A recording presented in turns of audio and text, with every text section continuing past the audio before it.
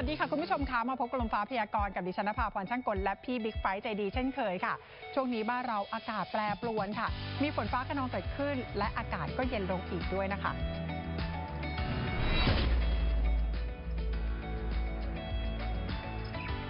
ในช่วงนี้ใกล้เปลี่ยนฤดูค่ะ แต่ยังคงมีฝนฟ้าขนองเกิดขึ้น เนื่องจากหย่อมความกดอากาศต่ำกำลังปานกลางจากประเทศจีนได้แผ่เข้ามาปกคลุมที่ภาคเหนือตอนบน แล้วก็ภาคอีสานตอนบนค่ะ จึงทำให้พื้นที่ตั้งแต่ภาคกลางตอนล่าง กรุงเทพมหานครแล้วก็ภาคตะวันออก ยังคงมีฝนฟ้าขนองเกิดขึ้น ขณะที่ภาคใต้ มีฝนตกหนักถึงหนักมากในบางแห่ง เนื่องจากอิทธิพลของร่องมรสุมที่พาดผ่านภาคใต้ตอนกลางค่ะ จึงทำให้ภาคใต้มีฝนตกหนักเกิดขึ้นนะคะ มาดูการคาดการณ์ปริมาณฝนในวันนี้กันหน่อยค่ะ จะเห็นว่าทั่วทุกภาคยังคงมีฝนเยอะอยู่เลยทีเดียวค่ะ ส่วนในช่วงวันที่ 11 ถึง 12 ตุลาคมค่ะ ปริมาณฝนจะลดลง อากาศก็จะเย็นลงด้วยนะคะ โดยในภาคอีสานค่ะ อุณหภูมิลดลง 3-5 องศาเซลเซียส ขณะที่ภาคอื่นๆ อุณหภูมิลดลงเล็กน้อยค่ะ 1-3 องศาเซลเซียสนะคะแต่อย่างไรก็ตามค่ะยังคงต้องจับตาในช่วงวันที่ 13-15 ตุลาคมค่ะ ในพื้นที่ของภาคอีสานนะคะ ปริมาณฝนก็จะมีแนวโน้มเพิ่มขึ้นได้ เนื่องจากอิทธิพลของหย่อมความกดอากาศต่ำด้านตะวันออกของประเทศเวียดนามค่ะ จะทำให้พื้นที่ของภาคอีสานนั้นมีฝนเพิ่มขึ้น แต่อย่างไรก็ตามค่ะเนื่องจากมวลอากาศเย็นแผ่เข้ามาปกคลุมในบ้านเรา เมื่อเจอกับหย่อมความกดอากาศต่ำค่ะ จึงทำให้ไม่น่าเป็นห่วงสักเท่าไหร่ แค่มีแค่พื้นที่ภาคอีสานที่มีฝนเพิ่มขึ้นเท่านั้นเองค่ะ มาดูบิ๊กไฟเตือนภัยกันหน่อยค่ะ ในวันนี้ยังคงต้องเตือนทั้งหมด 27 จังหวัดด้วยกัน โดยเฉพาะในพื้นที่ของภาคเหนือตอนล่าง เรื่อยลงไปจนถึงภาคกลาง กรุงเทพมหานครและปริมณฑล รวมถึงภาคตนออก แล้วก็ภาคใต้ค่ะ จะมีฝนตกหนักเกิดขึ้น เตือนระดับสีแดงก็คือเสี่ยงเกิดฝนตกหนักถึงหนักมาก ที่จังหวัดกาญจนบุรี ราชบุรี เพชรบุรี แล้วก็ประจวบคีรีขันธ์ส่วนคลื่นลมฝั่งอ่าวไทยจะมีกำลังแรงค่ะ โดยจะมีฝนฟ้าขนองเกิดขึ้น คลื่นสูงประมาณ 2 เมตร ขอให้ชาวเรือเดินเรือด้วยความระมัดระวังจนถึงวันที่ 14 ตุลาคมเลยนะคะ ขณะที่ข้อมูลของกรมป้องกันและบรรเทาสาธารณภัยค่ะ แจ้งเตือนประชาชน โดยเฉพาะอยู่บริเวณริมแม่น้ำเจ้าพระยา ต้องระวังน้ำล้นตลิ่งด้วยนะคะ โดยเฉพาะ 7 จังหวัดด้วยกันค่ะ ที่จังหวัดชัยนาทสิงห์บุรี อ่างทอง พระนครศรีอยุธยาปทุมธานีนนทบุรีแล้วก็กรุงเทพมหานครค่ะ ต้องระวังน้ำล้นตลิ่ง ยกเข้าของไว้ในที่สูงเตรียมกระสอบทรายกันด้วยนะคะ หากต้องการความช่วยเหลือค่ะ สามารถโทรแจ้งได้ที่สายด่วนนิรภัย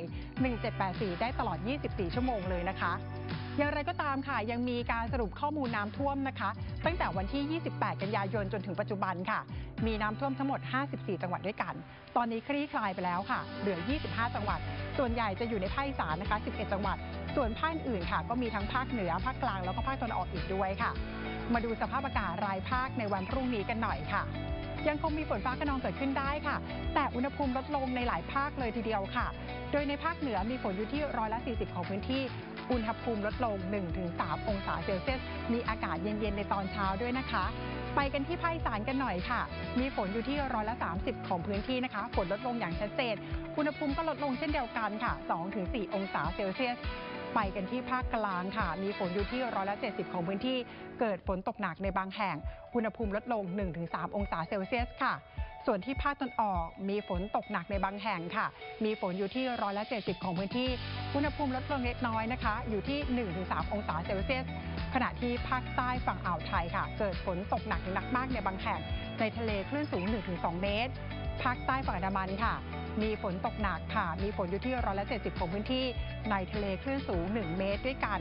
ขณะที่พื้นที่ของกรุงเทพมหานครค่ะ วันนี้เกิดฝนตกหนักในบางแห่งค่ะ มีฝนเยอะอยู่ที่ร้อยละ80ของพื้นที่ อุณหภูมิลดลงเล็กน้อยหลังจากนั้นค่ะ นอกจากอุณหภูมิลดลงแล้ว ฝนฟ้าขนองก็จะลดลงอีกด้วยค่ะมาดูกันที่โรคที่มากับน้ำท่วมค่ะคุณผู้ชม ต้องเตือนกันแล้วก็พบบ่อยก็คือ โรคน้ำกัดเท้านั่นเอง อาการของโรคค่ะก็คือจะมีอาการผื่นคัน แล้วก็มีเท้าเปื่อย รวมถึงค่ะจะมีอาการลอกที่เท้าด้วยนะคะ สาเหตุก็เนื่องมาจากว่าการเดินลุยน้ำที่สกปรกเป็นเวลานานค่ะ ดังนั้นนะคะหากปล่อยไว้เป็นเวลานาน อาจจะทำให้เกิดอาการติดเชื้อ ทั้งเชื้อแบคทีเรียแล้วก็เชื้อราได้ ดังนั้นวิธีการในการป้องกันค่ะ ก็คือหากจำเป็นต้องเดินลุยน้ำจริงๆเนี่ยต้องสวมใส่รองเท้าบูทกันด้วย หากไม่ได้สวมใส่รองเท้าบูทนะคะ ขึ้นมาจากน้ำค่ะ ให้ล้างด้วยน้ำสบู่แล้วก็เช็ดให้แห้งซับให้แห้งกันด้วย นอกจากนี้เองค่ะ หากมีอาการผื่นคันแล้วเนี่ยต้องทาครีมแก้น้ำกัดเท้า หรือว่าทาขี้ผึ้งก็ได้ แล้วก็อย่าลืมโรยแป้งที่เท้าด้วยนะคะ เพื่อเป็นการป้องกันเหงื่อ แล้วก็ไม่ให้เกิดอาการผื่นคัน และที่สำคัญค่ะ ผู้ป่วยโรคเรื้อรังอย่างเช่นโรคเบาหวานตรงนี้ต้องระวังกันให้ดีค่ะ เพราะหากติดเชื้อนั้นจะรักษาได้ยากเลยทีเดียวค่ะ มาดูสภาพอากาศรายทวีปในวันพรุ่งนี้กันหน่อยค่ะ